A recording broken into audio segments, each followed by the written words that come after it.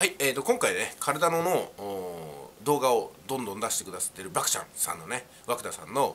これ素晴らしいねロングセラーになるんじゃないかなというふうにご自身でも言われてましたけどもこの用語集ってのねやっぱりこんがらがっちゃいますよねいろんなの。これねありそうでなかったわけですよ。いやこれはねちょっと永久保存版でブックマークしたいなって思うじゃないですか。だからチャンネル登録が起きるんですよ。しかもですねもう一回見ないとなどんな意味だったかなっていう時に辞書みたいにこの涌田さんのブックマークした動画を見るんですよ。いやこれすごくいいじゃないですか。この視点で作っていくといいんですよね。だからどのようにやったら再生回数が上がるかっていうのはまず一つ。同じ人が何回も見るってやつですよ。私が注目してるのはあの10年ぐらい前です。10年ぐらい前ですね。あのアイドルさんがねローカルアイドルさんって言って地方のアイドルさんが自分のダンス動画とかを出してるんですよ。これなんで出すかっていうとそのダンス動画を見ながら練習する子たちのために作ってるんですよ。だから再生数上がるんですよ。同じ人が何回も見るトレーニング用の動画っていうのはものすごく再生数上がるわけですよね。しかもそのトレーニング用の動画がためになるなと思ったらブックマークが起きるんですよ。だからこういうものを私たちも作っていくことができるんじゃないかなと思いますから用語集とかねすごくいいと思いますし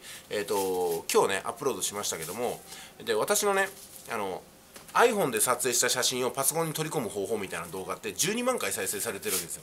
2分ぐらいの動画ですよ。いやこういう風な使い方をすると同じ人が何回も何回も見てためになるな分かりやすいなっていう風になると思うんですよ。皆さんもねこういった形で